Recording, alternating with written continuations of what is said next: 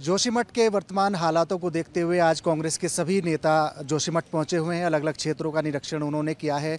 किस तरीके की स्थिति है जानने की कोशिश करेंगे हमारे साथ में प्रदेश प्रभारी हैं देवेंद्र यादव जी। सर, आप लोग निरीक्षण कर रहे हैं, आपदा प्रभावित परिवारों से भी मिलेंगे। कैसी स्थिति देख रहे हैं आप इस समय वर्तमान में? बहुत ही दुख है और मिल नहीं रहे हैं, हम मिले हैं। बहुत सारे परिवारों से अभी यहाँ पर आए हैं, मिले हैं। हमारे साथ माननीय प्रदेश अध्यक्ष करण मेहरा जी, स्थानीय विधायक हमारे राजेंद्र भंडारी जी, पूर्व अध्यक्ष हमारे गणेश गोदयाल जी सीएलपी लीडर हमारे यशपाल आर्य जी। हम सभी सुबह से यहाँ पर दौरा कर रहे हैं, लोगों से जो पीड़ित हैं, उनसे मिलने की कोशिश की है, उनसे मिले हैं, उनका दुख जानने की कोशिश की है। लेकिन कहीं ना कहीं जो एफर्ट्स सरकार के द्वारा इस आपदा के दौरान किए जा रहे हैं, वो मुझे लगता है कहीं ना कहीं नाकाफ़ी हैं। कहीं ना कहीं इनकी लापरवाही क्या जो भुगतना पड़ रहा है, आज यहाँ की जनता को भुगतना पड़ रहा है।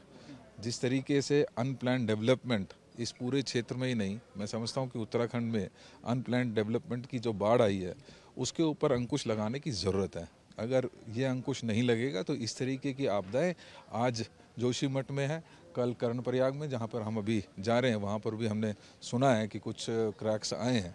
हम वहाँ भी जा रहे हैं, वहाँ पे भी उसका असेसमेंट करेंगे।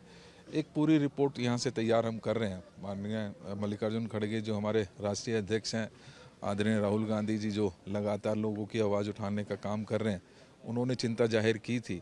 तो हम यहाँ पहुँचे हैं, यहाँ की जो स्थिति है, उसको हमने असेस किया है। पूरी एक विस्तृत रिपोर्ट हम भी बना रहे हैं। इसके अलावा भी हमने एक्सपर्ट्स की कमेटी यहाँ पे बनाई है। यहाँ जो लोग हैं उनकी यथासंभव मदद करने की कोशिश हमारे विधायक जी के नेतृत्व में पूरी कांग्रेस कमेटी का आ, कोशिश है कि भाई जो यहाँ से पीड़ित है जिसको यहाँ से विस्थापित होना पड़ रहा है उसको क्या मदद कर सकते हैं किस तरीके से उसको एक उचित स्थान दिलवाने का काम कर सकते हैं। लेकिन जिस तरीके से ये सरकार बिहेव कर रही है पहले पाँच हज़ार का मुआवजा अनाउंस करना उसके पश्चात जब प्रेशर बढ़ा, प्रदेश कांग्रेस कमेटी ने मुख्यमंत्री का घेराव किया तो उसके पश्चात इनकी नींद जागी, डेढ़ लाख रुपए अनाउंस किया है। बहुत से परिवारों को मैंने सुना है कि अब मिला है, लेकिन ये नाकाफ़ी है।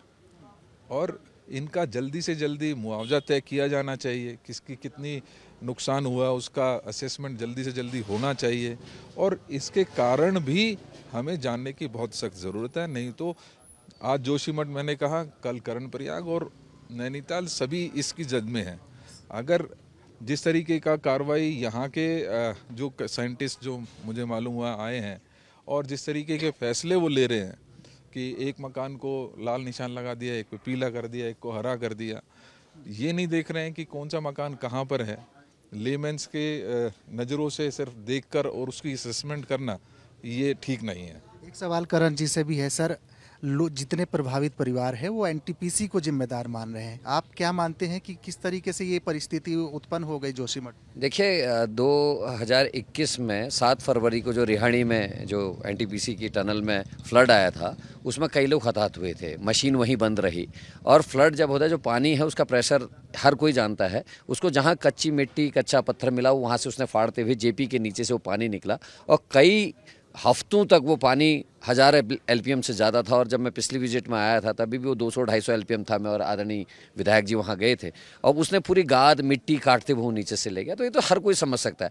और जब यहाँ के लोगों को ये शंका है तो जूलॉजिस्ट को बुलाकर उसकी जाँच होनी चाहिए, आखिर नीचे जो खा, खोखलापन आया है, इसमें वो कैसे आया?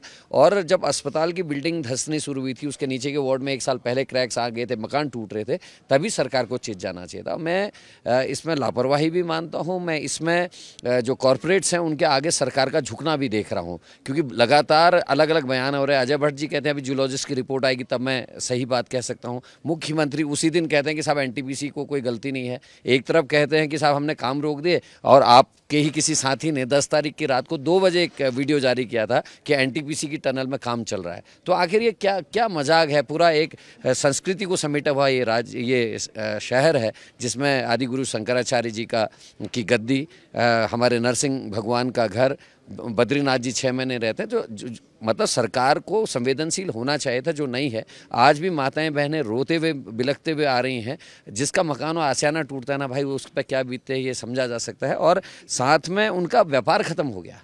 जिनकी दुकानें थी, जिनके होटल थे, जो काम धंधे थे, वो सब खत्म हो गया और बद्रीनाथ जी का पहला पड़ाव है ये, जहाँ के बाद बद्रीनाथ जाया जाता। तो इसकी महत्ता को समझना चाहिए। अस्सी करोड़ से ज़्यादा हिंदुओं का आस्था का केंद्र ये जोशी मठ है। और टूरिज़्म के लिहाज से भी विश्व पटल पर इसका नाम है ओली आपने देखा है, उसकी भी जो रोपवे है, वो भी खतरे की जद में आ गई है। और जब जोशी मठ जाएगा तो ओली को भी निश्चित ही नुकसान होगा। पुराला, पूरा हिमालय क्षेत्र इस समय खतरे की जद में है।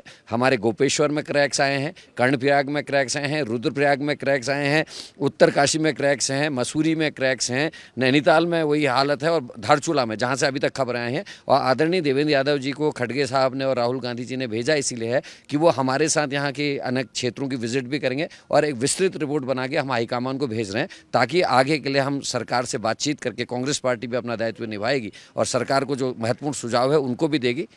सर, एक लास्ट सवाल है कि जो लोग यहाँ से प्रभावित हुए उनके सामने रोजी रोटी का संकट है। सरकार किस तरीके से उनके लिए करें? आप विपक्ष में हैं, सभी नेता यहाँ पर पहुँचे हैं।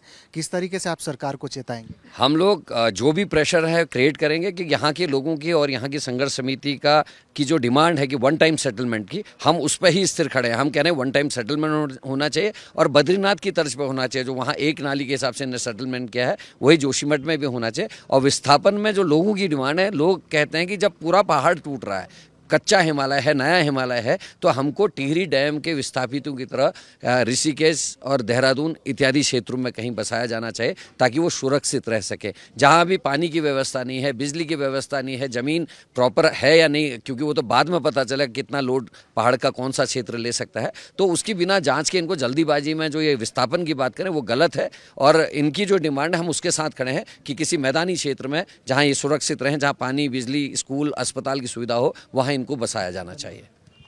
कांग्रेस के सभी नेता आज जोशीमठ में पहुँचे हुए हैं और जिस तरीके के हालात अभी जोशीमठ में बने हुए हैं, साफ़ तौर पर विपक्ष के नेताओं का कहना है कि सरकार को तमाम आपदा प्रभावित परिवारों को लिए जिस तरीके से टिहरी से लोग विस्थापित किए गए थे, उनके इन तमाम लोगों के लिए भी सरकार इसी तरीके के कदम उठाए।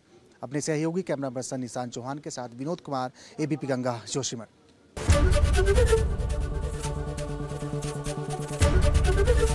एबीपी गंगा खबर आपकी जुबा आपकी।